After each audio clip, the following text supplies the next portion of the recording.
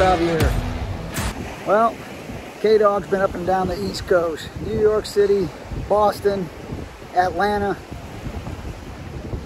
That's just fine. I prefer it out here on the beach. Today, I'm in Honolulu at the iconic Waikiki Beach. That's Diamond Head back there if you haven't figured it out yet. Well, let's talk crypto.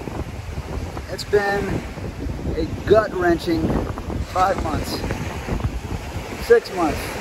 Since November, cryptocurrencies have been on the decline.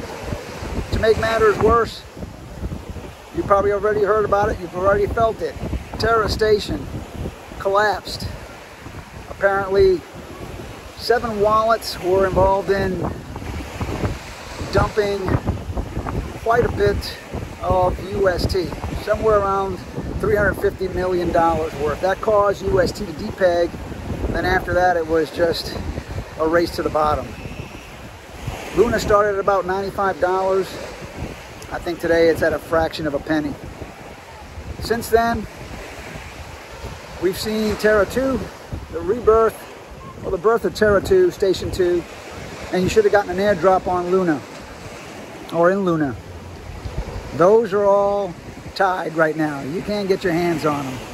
So they started off at about $15. I think right now they're about $2.30 this morning.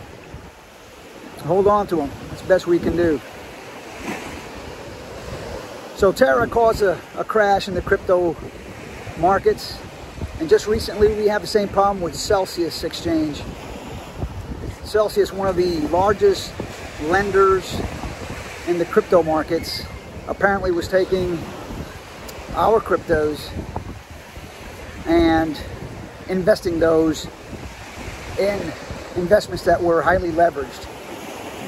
Of course, those were all tied into smart contracts, which means they couldn't get their hands on them. When people found out, having been through this whole thing with Terra Station, they decided to go ahead and start yanking, pulling all their funds, pulling all their tokens. What that caused was a run on Celsius.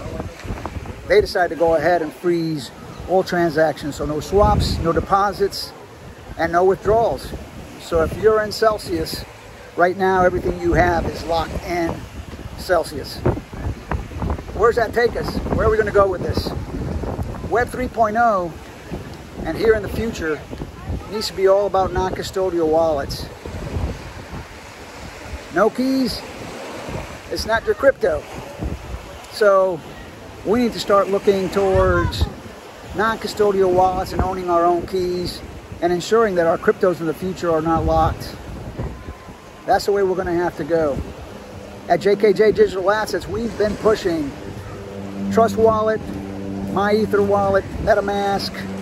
I've got a paper already ready to go on Keplr. Also Math Wallet. There's a ton of wallets out there, not custodials. Let's talk about the hard wallets. You've got uh, Trezor and Ledger, the two leading uh, hard wallets. So maybe it's time for us to start focusing in that direction. At this point, I'd say if you're still holding on to your cryptos, you are definitely a cryptocurrency veteran. This has not been fun, and I don't think the carnage is over. Bitcoin this morning's at about 21,000 and ETH is holding on to a thousand. My expectation, I hope not, but I can see Bitcoin dropping down to into the uh, ninth, into the teens, and ETH probably down as low as $800. All right, so recently K-Dogs told you that he's going to tell you exactly what he's up to in terms of buying cryptocurrencies. All right, well, I can tell you what I'm up to, but what I will tell you before that is each and every one of us has a certain amount of risk tolerance, risk that we're willing to take. Mine might be a lot higher than yours. I've been in cryptocurrencies for a while now. That being said, I want you to just keep in mind that I still keep my buys relatively small. I don't bet the house. I do not put my rent check into it. So what's JD liking today? I like Bitcoin at these prices, and I certainly like ETH at these prices. Other cryptos that are out there that I'm looking at are some of the bigger chains also. Avalanche, Polygon, Cosmos, Harmony. Those are my winners right now.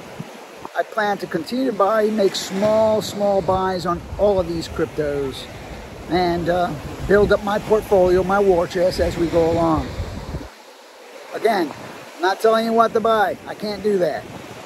I'm just telling you what I'm up to. It's about noon here. We're closing in on noon. I'm going to go find myself something with an umbrella in it. Until then, please take care and hang on. The ride is not over yet. Far from over.